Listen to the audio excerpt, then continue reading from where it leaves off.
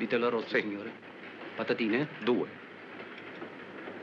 Basta, basta,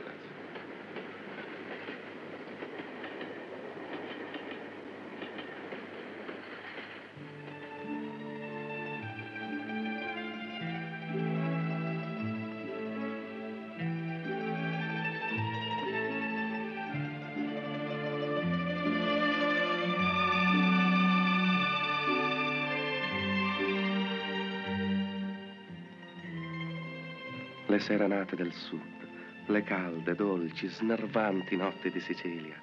Durante tutto il tempo che n'ero stato lontano, il ricordo di quelle notti, o meglio di una notte, aveva popolato le mie ore di rimpianti, di nostalgia. Agramonte. 18.000 abitanti, 4.300 analfabeti, 1.700 disoccupati tra fissi e fluttuanti. 24 chiese, se ben ricordo, tra le quali si annoverano alcuni notevoli esemplari barocchi del tardo Seicento.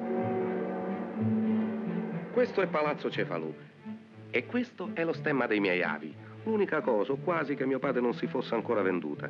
Le dissipazioni di papà, sulla natura delle quali sorvolo per rispetto a mamma, ci avevano ridotti ad abitare in una sola ala del palazzo, mentre l'altra ala era stata occupata da mio zio Calogero e dalla sua famiglia.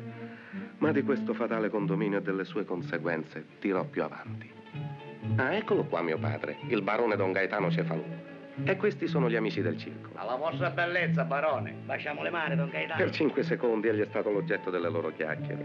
Ma eccoli già ritornati al loro argomento preferito, le donne. Era un discorso inesauribile. Nell'accesa fantasia dei miei concittadini le donne si tingevano dei colori del mito. Le favolose, invisibili donne di Agramonte che celavano la loro bellezza e il loro ardore dietro le grate, pardon, dietro le stecche di vereconde persiane. Agramonte proletario invece procedeva gloriosamente sulla via del progresso.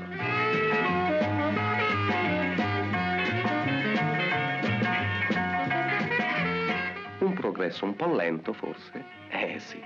Ma alle spregiudicate trombe proletarie rispondevano altrettanto sonore le campane di San Firmino. E perciò, miei cari fedeli e amati concittadini, io vi esorto a dare il vostro suffragio ad un partito che sia popolare, e cioè democratico e quindi rispettoso della nostra fede cristiana. Un partito, per concludere, che sia democratico e cristiano.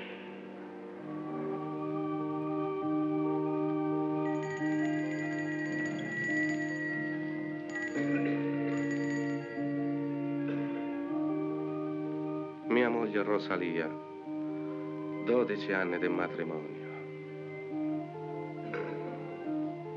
Donna Matilde, mia madre.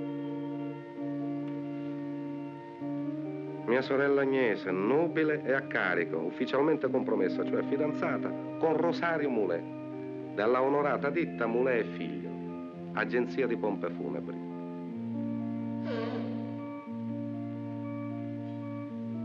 Questo è Don Calogero, l'intruso di Palazzo Cefalù, il marito di zia Fifidda, sorella di mio padre. Nel giro di una quindicina d'anni, l'ex massaro Don Calogero, avallando incaute cambiali di gioco emesse da mio padre, si era andato accaparrando i pezzi più pregiati delle nostre proprietà. E questa, infine, è Angela, figlia di Calogero e Fifidda, e quindi mia cugina carnale. Angela frequentava le magistrali. Frequentava le magistrali in un collegio di suore di Catania. L'estate veniva a passare le vacanze in casa.